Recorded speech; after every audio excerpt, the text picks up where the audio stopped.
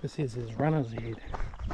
So I passed a group further back that had numbers on, um, and it's some sort of uh, ultra marathon.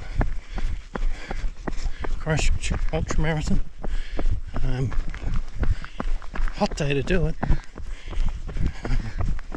We're going from, I'm not sure exactly where, she didn't say, but um, they're going to Halswell Quarry is where the finish is. I think that's about 15 k's back in the other direction. So that'll be interesting. So I'm not sure if I'll get back to the car without meeting a swarm of them.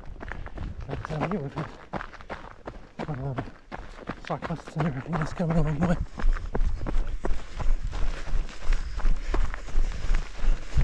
Hiya.